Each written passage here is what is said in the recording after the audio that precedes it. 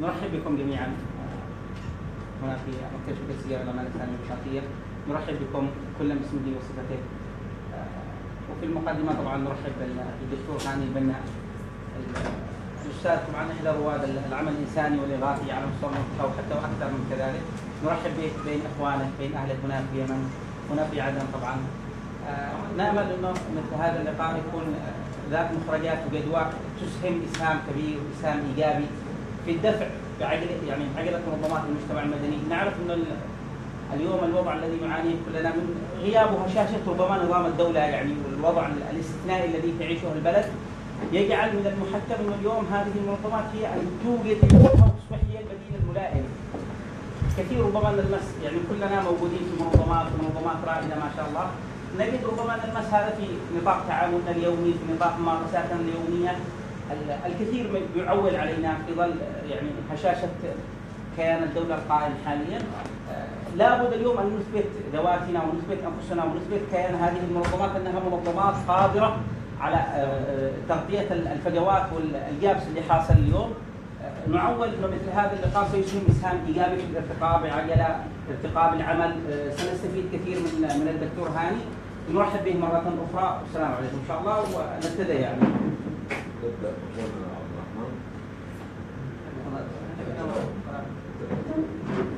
السلام عليكم. طبعا يسعدنا وجودنا يعني معكم اليوم بعد طبعا إحنا عملنا جوله مع الدكتور هاني والوفد المرافق له في صنعاء وحديده كانت ثلاث أيام اللي فاتت والدكتور هاني البنا طبعا أبى إلا أن يأتي إلى عدن رغم الصعوبات والحاجات اللي صارت له يعني كان في يعني لا يراد له أن يأتي إلى زيارة عدن لكن الدكتور اصر كما كنا تعبانين كنا جايين من حديده أمس واصلين من صنعاء يمكن الساعة 5 أو 6 الدكتور قال خلاص الآن نتحرك إلى عدن ومن بقي في عدن إن شاء الله. يقوم يطلع على الواقع الإنساني يشوف متطلبات عدن إيش اللي يوجه النداءات الإنسانية يشوف إذا في أي تعاون إن شاء الله مع منظمات المجتمع المدني.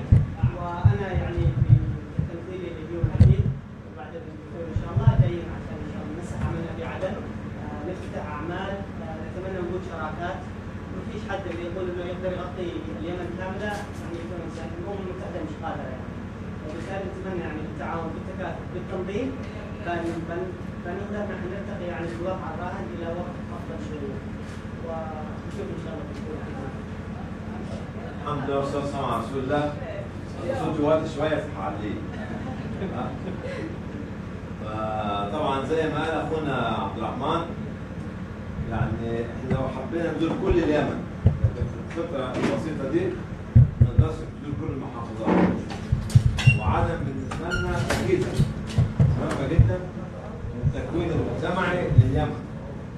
نحن نتكلم عن اليمن كوطن اليمن كشعب اليمن كثقافة اليمن كتاريخ اليمن كمجتمع مدني اليمن كأزمة إنسانية.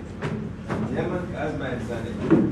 يعني في الأربع أيام اللي فاتوا كان دولتنا في في صنعاء تعز ركزت تماما على أمرين.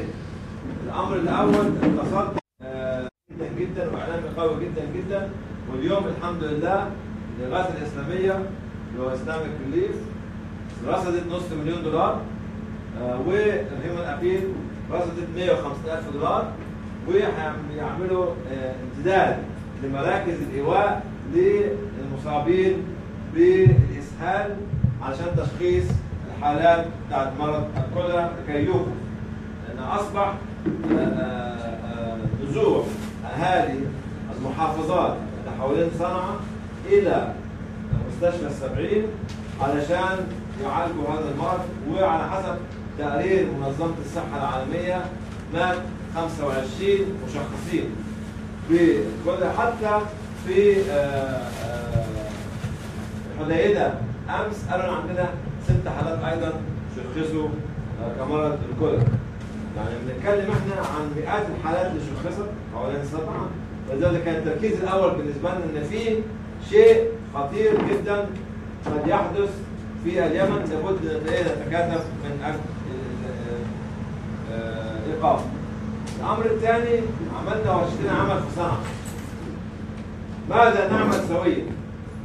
ماذا نعمل سويا وانتوا هتكون اللقاء ده استكمالا لما عملناه مع المنتدى الإنساني في صنعاء واستخرجنا ثلاث مخرجات أساسية. سويا اللي هو عمل حملة مناصرة للقضية الإنسانية لليمن. حملة مناصرة دولية للقضية الإنسانية لليمن. بتتضمن عمل بيان صحفي تتضمن عمل فيلم عن اليمن وتتضمن عمل بحث عشان نعرف فعلا اللي هو الأرقام الحقيقية لمعاناة. ما تبقاش مجرد واحد بيتكلم في خطبة الجمعة أو في محاضرة أو كذا من مخه لا فخرجنا من لقاء يوم الثلاثاء ثلاث مقر المنتدى آه، في صنعاء واللي هو بيان صحفي.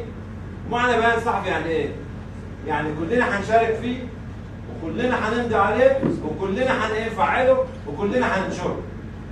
بيان صحفي مش معناه إن إحنا نطلع بيان صحفي وكل واحد يروح ينام في بيته. لا من المؤازرين لكي يحشد أكبر عدد من الجمعيات. الحالة الإنسانية في اليمن. ها؟ ولو كان البيان الصحفي دي هاشتاج فكل جمعية من جمعياتنا تسعى إلى خلاص شوف شوف أنت بقى الحركات بتاعتك تسعى أصل أنا مع التلفزيون ومعانا التلفزيون معانا الجزيرة هنا النهارده. تسعى إلى إيه؟ تسعى إلى نشر الهاشتاج لآلاف من المؤازرين وإلا ما فيش بقى صحف عينك دي نمرة واحد. نمرة اثنين فيلم. صغير عن المعاناة في اليمن. أنا بنتكلم عن اليمن ككل. اليمن ككل. والفيلم ده يعبر عن الحالة الإنسانية في اليمن. وتشترك في اكبر عدد من الجمعيات اللي موجودة في اليمن. والثالث اللي هو عمل آه، الانسانيه في اليمن. مش واحد يقول عندنا 5 مليون وواحد يقول عندنا 4 مليون وواحد 3 مليون وواحد يقول مش عارف إيه لا عايزين أرقام حقيقية لأن الدول والحكومات والمؤسسات الدولية تؤمن بالأبحاث والأرقام الحقيقية. إذا أخرجنا بيان صحفي لابد أن يكون خلفيته في أرقام حقيقية. في ثلاث لجان كانت في المنتدى الإنساني ممكن نوصلكم بيها لجنة البيان الصحفي لجنة الفيلم ولجنة اللي هو الأبحاث. دي حاجة من الحاجات اللي ممكن عن طريق ال- آه، الإيميل بتاع نهى نديه لكم آه، فيه وتتواصلوا مع الثلاث آه، الثلاث لجان دي اللي حصلت.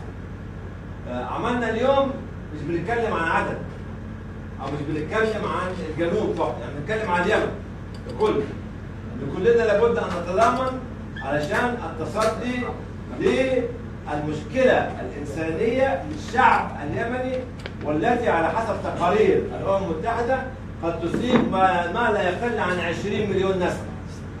ال 20 مليون نسمة دول ولا هيكفيهم المليار اللي انت شفتيه في جنيف ولا 2 مليار ولا 5 مليار ولا 10 مليار. لكن هيكفيها تآزرنا وبناء الشراكات بيننا وبين بعضنا. كان بيشتكي إن مفيش تنسيق اللي هو الأستاذ آه، جمال.